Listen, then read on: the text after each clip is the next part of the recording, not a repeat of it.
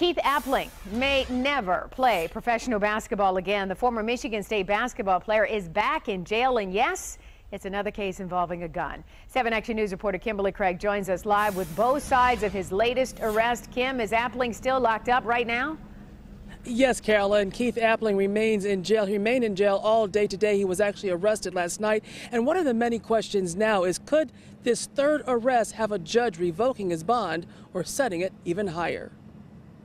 It's my understanding that the police uh, officer stopped him as a result of the fact that he was supposed to have had tinted windows. Keith Appling arrested again. It began around 9:10 last night, and Detroit police say they did not stop him near Russell on East 7 Mile for the tinted windows, but rather because they spotted Appling's 2013 Dodge Challenger making a turn without using his signal.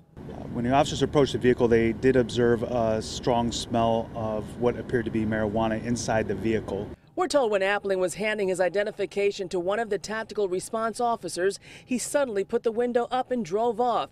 Officers pursued him and stopped him about a half a mile later near Appling's house on Detroit's east side, and a Gucci bag they noticed on the passenger side was now gone. A bag containing a gun they think he tossed out of the window during that short chase. Officers went back to the location, uh, tracked the route, found the bag. It did contain a weapon along with some uh, paperwork that did identify the driver as Mr. Appling.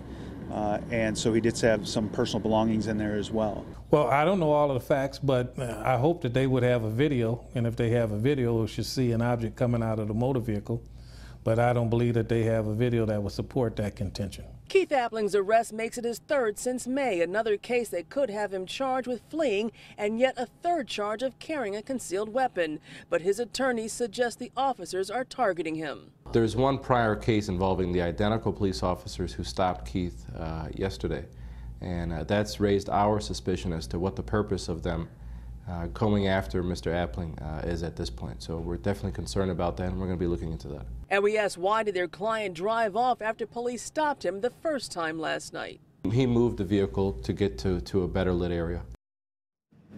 And we could know more tomorrow on what, if any, new charges will be filed against Keith Appling. We will certainly keep you updated. Reporting live in Detroit, Kimberly Craig, 7 Action News. Back to you. All right, Kim, thanks so much. And